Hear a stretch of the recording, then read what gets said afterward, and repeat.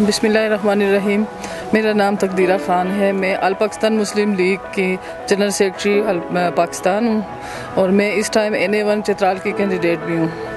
اور اللہ تعالیٰ نے چترال کے مختلف مسائل ہے جس پہ سب سے پہلے ہمارے نظر میں تعلیم ہے چترال کے۔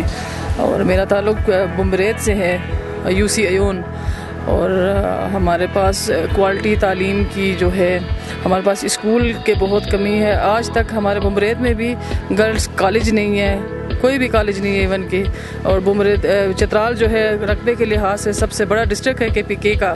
اور یہاں کے تعلیمی معیار جو ہے نہ ہونے کے برابر ہے۔ اس وجہ سے جو ہے، ہمارے یہاں کے بچے، ہمارے اسٹوڈنٹ جو ہے، ان کو ڈسٹرکٹ سے باہر جانا پڑتا ہے اور مختلف پریشانیوں کا سامنا کرنا پڑتا ہے۔ اور ان غریب حلقہ ہے، ماں باپ کے لیے کہ بڑا آزمائش ہوتا ہے یہ۔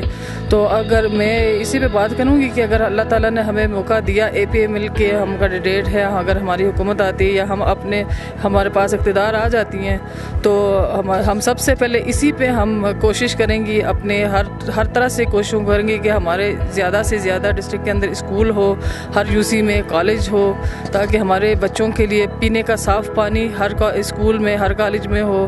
باتھ روم کے سخت ایشوز ہے یہاں پہ۔